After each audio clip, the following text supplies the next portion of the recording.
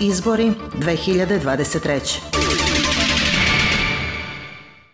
Danas su konferenciju za novinare održali predstavnici liste Srbije protiv nasilja. Na početku konferencije nosilac lokalne liste i kandidat za narodnog poslanika Zoran Petrov obratio se upozorenjem opštinskoj izbornoj komisiji i Srpskoj naprednoj stranci. Upozorava opštinsku izbornu komisiju kao i, i, i, i članove opštinske izborne komisije i Srpsku naprednu stranku da podatke koje smo dali, a to su podaci ljudi koji su svojim potpisom podržali listu da bi se kandidovali za lokalne izbore, Takođe i članove biračkih odbora koji smo dostavili opštinskoj izbornoj komisiji, znamo sa sigurnošću da su dostupni aktivistama, odnosno funkcionerima Srpske napredne stranke i da već vrše određen pritisak i mobbing na ljude koji su svojim potpisom podržali listu i na ljude koji će se naći na biračkim mestima da odustanu i ja smatram da je to protivzakonito, odnosno da ćemo za sve te radnje podnositi krivične prijave. Među svim tim ljudima prednjači Taško Vasil, koji se ceo dan vozika službenim automobilom i glumi šerifa u Dimitrovu da to ne radi. Ljudi u ovom trenutku nisu spremni da to javno iznesu, ali će vrlo brzo posle 17. i javno izaći i posvedočiti uz prisustvo svedoka za radnje koje su uh, zabranjene zakonom, Protiv svih koji krše zakon podnećemo krivične prijeve, rekao je Petrov i upozorio da će situacija sa njihove strane biti praćena i na sam dan izbora, kako ne bi došlo do zloupotreba i grešaka kao na prethodnim parlamentarnim izborima. Korišćeni mobilni telefoni, da se na sam dan izbora koristili paralelni spiskovi birača, da su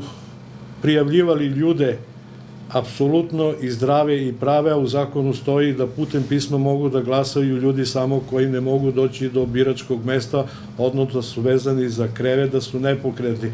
A imali smo slučajeve kao u staračkom domu da je otvoreno novo biračko mesto. Bukvalno su došli sa celokupnim spiskom, među tim ljudima ima i nepokretnih i to je u redu da se ti ljudi prijave, ali ne mogu svi koji su pokretni da se apsolutno ceo spisak dostavi biračkom odboru i da se napravi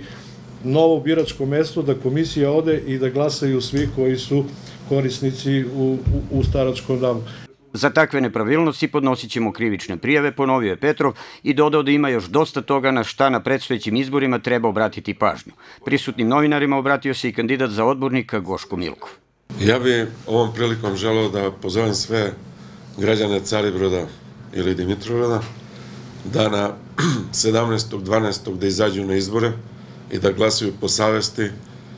a ne po onome kako ko im naredi i da iskoriste.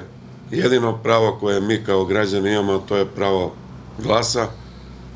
i da odluče ko će da narednih četiri godine vodi opštinu Dimitrovgrad, jer rezultati ove vlasti su vidljivi svima u Dimitrovgradu, oni su katastrofalni, tako da pozivam građane da izađu, da glasaju za broj 4, za listu Srbije protiv nasilja,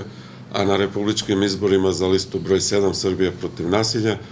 Petrov je dodao da se ovi izbori odvijaju u nedemokratskim uslovima. Ponovo kažem da ovo su nenormalni uslovi, niti su to demokratski uslovi za održavanje bilo kakvih izbora, niti republičkih, niti lokalnih,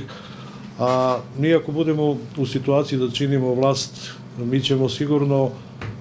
posle godinu dana stvoriti uslov, odnosno podneti ostavke da raspišemo za nove lokalne izbore, da se održe u, u, u normalnim okolnostima i u demokratskim uslovima i da tek onda ljudi mogu slobodno da se kandiduju na listama, da mogu slobodno da izraze e,